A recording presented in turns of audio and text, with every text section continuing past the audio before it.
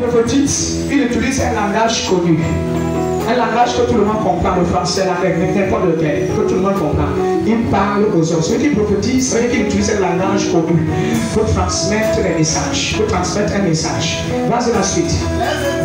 Maintenant, cette information-là, cette information les édifie. Il parle aux hommes, qu'est-ce qu'il fait? Il les édifie. Ça veut dire quoi? Il les fortifie. Dans une église prophétique, si tu viens décourager, tu seras fortifié.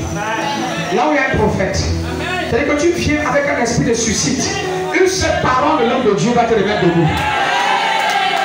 Tu as perdu le goût de la vie. Tu as perdu le goût de la vie. Une seule parole remplit ton être. Te donne l'énergie de continuer la vie. Il y a des enfants ici que je connais que s'ils n'avaient pas connu ce ministère, ils sont morts depuis. Les enfants qui avant d'arriver ici, c'était au cours suicide. C'était au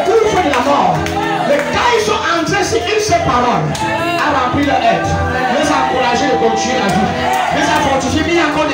Parce que il y a l'espoir, Dieu est en train d'agir. Et quand ils sont entrés dans la communication, les choses ont commencé à changer. La prophétie, verset vous, la prophétie édifie. La prophétie, c'est c'est ça que l'apôtre Paul a dit. C'est bien d'édifier toi-même. Mais ça prend plus important d'édifier les gens autour de vous. En utilisant le don de prophétie. Il n'a pas dit prophétiser, ne parler par langue. Non, non, non. Il a dit parler en langue. Sachez que parler en langue là, c'est parler à Dieu. Parler en langue, c'est prier en esprit. Parler en langue, c'est déclarer le mystère. C'est parler les mystères. Les mystères, c'est quoi C'est les choses cachées. Le mystère, c'est les choses secrètes. Le mystère, c'est les choses inconnues de la de les hommes. Le mystère, c'est quelque chose qui est secret. Quand tu parles en langue, alléluia, tu parles avec la divinité. Tout ce qui est caché dans la divinité, tu es au courant de ça. C'est ça que les prophètes, quand je parle, quand tu parles, avant de prophétiser, beaucoup parler en langue. Et quand tu parles beaucoup en langue, tu es au courant de tout ce qui se passe. Je te regarde avec un seul œil. Je peux te dire qui tu es. Je peux te donner les détails de ta vie.